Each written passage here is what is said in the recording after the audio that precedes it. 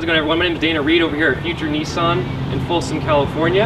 And today I'd like to show you the 2018 Nissan Kicks. This is the newest entry to our, well, entry-level SUV. Uh, firstly, I'd like to show you a little bit about the aesthetics. This guy's gonna have the nice, aggressive headlights, the Nissan signature V-Motion chrome grille, nice aggressive lines on the hood, looks very good. Now, under the hood, there's a lot of insulation. This is a 1.6 liter uh, four cylinder, same one that we use in our Versas. Um, now, it's kind of surprising how much power this guy has for an SUV having that powertrain. This guy only weighs 200 pounds more than a Versa. So, I mean, right around the same weight. This guy does have a little bit more horsepower though. It's got 132 horsepower. Now, if you look along the side right here, you're gonna notice it does have these nice aggressive lines that flow cleanly through the vehicle. If you look on the inside, has a very, very updated utility panel, interior styling, lots of room. Lots of room in the back seat as well. Now standard features on this are going to include Apple CarPlay, uh, Android Auto. Uh, if you have Apple CarPlay you can use navigation even if the vehicle is not equipped with it. This is probably the best bang for your buck in an SUV.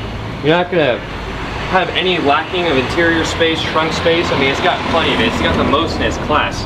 Now I actually went down to Alameda County to go do some training on this and I drove all the competitors there's no other vehicle in its class that drives like this. There's no body lean. It's got the most acceleration. I mean, this guy really is the pinnacle of entry-level SUVs.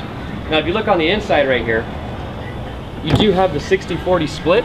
So the seats do fold down for more storage. And you're not going to be giving up any back seat space. As you see, I'm 6'4", and I fit comfortably back here. You do have two charging ports right here with USBs. You're gonna have multiple cup holders. You got one, two, three, four, five, six, seven cup holders in this guy.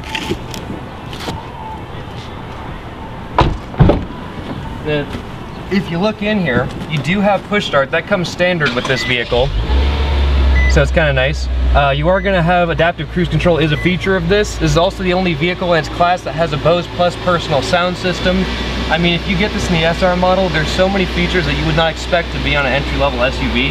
There's really nothing else competitive wise out there like this vehicle. I'd love to have the opportunity to show you. It's one of those things that I gotta show you in person. The way it drives, I mean, there's nothing else like it out there. I really hope I get the opportunity to show you soon. My name is Dana Reed over here at Future Nissan in Folsom. I look forward to the opportunity. You have a great day.